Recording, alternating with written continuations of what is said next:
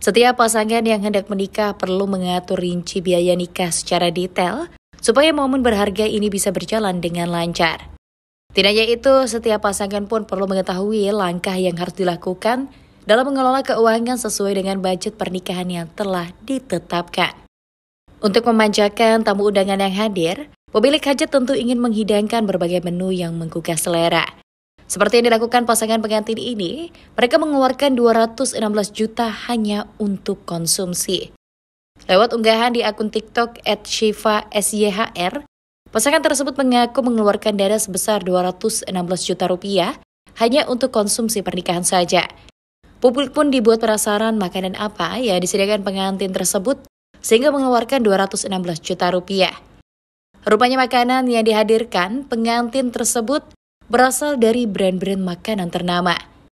Makanan tersebut biasa ditemui di mall. Tak heran jika pengantin tersebut mengeluarkan uang hingga ratusan juta rupiah. Pertama ada sushi teh dengan harga 13,5 juta rupiah untuk 300 pack atau porsi. Kemudian ada kambing guling, lasagna, roasted chicken. Selain itu ada kopi kenangan, soto lamongan, es krim, dan makanan lainnya. Mengejutkannya, hidangan prasmanan dalam acara pernikahan tersebut menghabiskan dana 114 juta 750 ribu rupiah.